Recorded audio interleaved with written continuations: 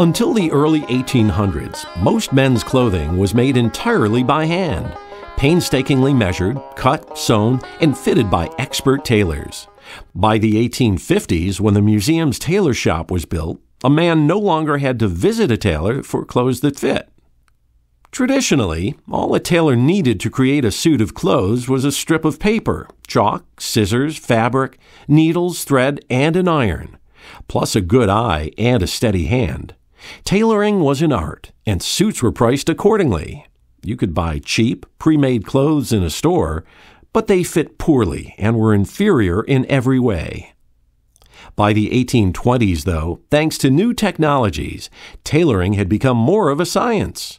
The tailor took your measurements with a recently invented tape measure and then created a pattern based on newly developed tables of proportions. In turn, the use of proportional drafting systems led to the creation of standard sizes, which ensured a predictable fit. And the invention of the sewing machine in the 1840s sped up the making of clothing even more. Thus, by the 1850s, the tailor who worked in the museum's tailor shop could quickly and accurately make decently fitting clothes at reasonable prices for a customer or for resale in the store next door.